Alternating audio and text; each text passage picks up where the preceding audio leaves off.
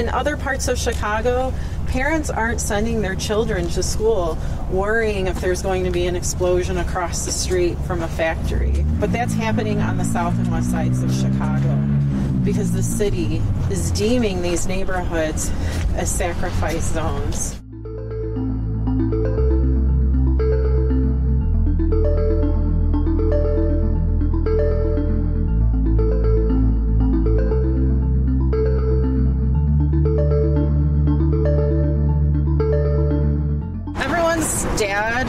And moms worked at one of the mills here in the neighborhood, so everyone knows each other, which was kind of cool. It's it's has that really small town feel, but you also knew a lot of family members who had cancer, who had asthma, who had similar diseases. So that kind of instilled in me a lot of curiosity at a young age like why is everyone really sick around here? And is that linked to the industry that surrounds us?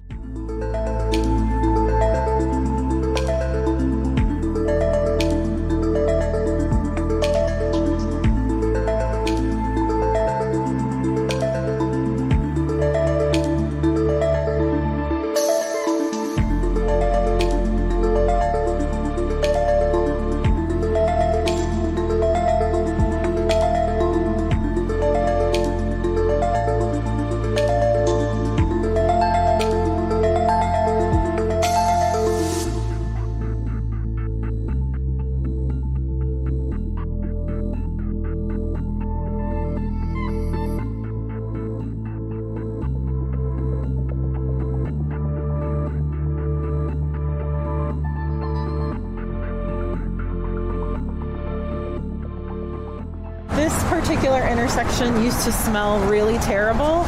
So growing up, my dad would tell me and my siblings to roll up our windows as soon as we would get to this intersection because it smelled so terrible. It was such a pungent foul odor. And so it's like muscle memory that to this day I find myself telling my son the same thing. When I was pregnant, that was the first thought in my head was am i going to be telling my son to roll up his windows like my dad used to tell me? And that is kind of what clicked in my head that that wasn't the narrative i wanted for my son. And so i had to do something about it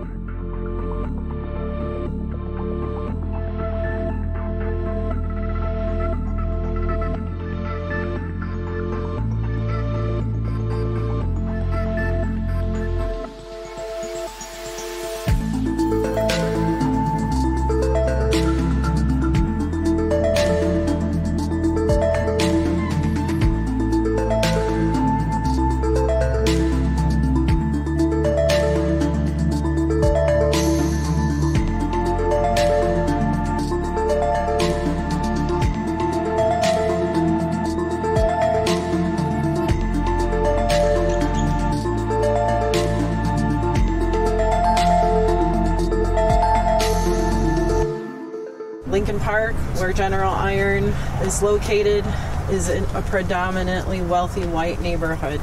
The city of Chicago listened to them and is moving that facility to my neighborhood across the street from this high school.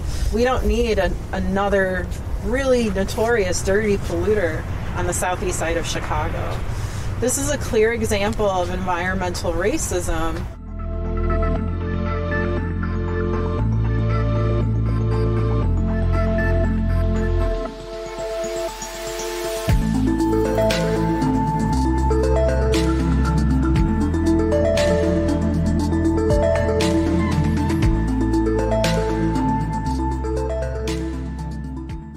Future that I dream of is that I stop getting photos and videos taken of me in front of toxic industry. I said one day there's going to be a photo taken of me in front of a solar farm or an urban garden or a non polluting industry. That's my dream. Um, and I won't stop until that photo is getting taken of me and my son.